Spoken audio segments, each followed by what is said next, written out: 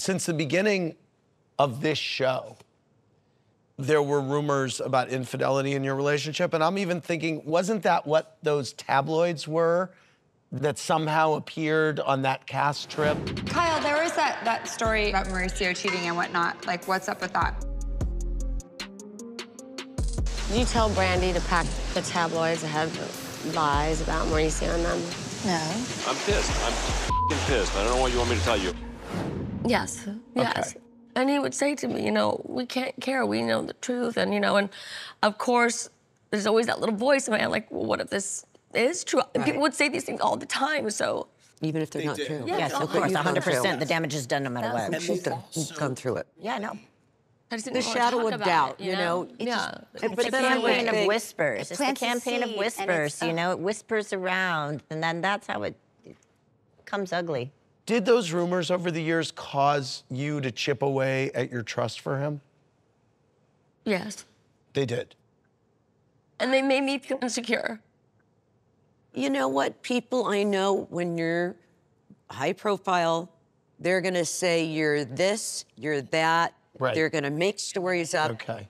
And They're you know- trying to hurt you, make you feel bad, and it works. Yes. and it does It work. does work. Orange Ryan said, I feel like Kyle has a big girl crush on Morgan, but I don't feel it's reciprocated. Randy DeSavage said, This is the reason Morgan is friends with Kyle. She likes the clout. Ladies, what do you think? That's ridiculous. She's done of critically, people accla- would be like critically that. She's acclaimed the music. furthest. She's Yes. not. Yes. Conversely, you kind of made her a household name. Like I said, you know, she cares about making music, and sh I, I think really she would really give up being a household name just to be able to keep making her music and not have that scrutiny.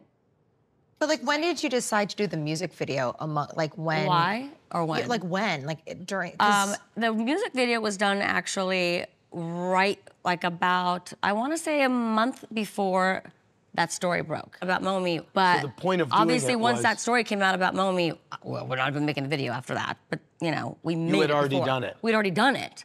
So the purpose of that music video was what? You know, she was on tour at the time, and then she was going to be playing at Stagecoach. And she said, I, I want to come do this for you to support you for, you know, the event for Laureen, but then you have to be in one of my videos. I didn't really know the, the creative behind it until I got there.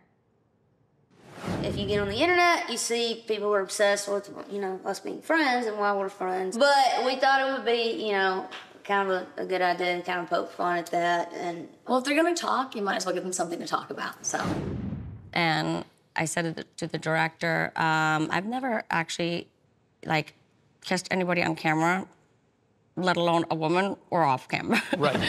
so I was very nervous and you know anxious. But I mean, if I'm being honest with myself, I was obviously curious in order to say yes.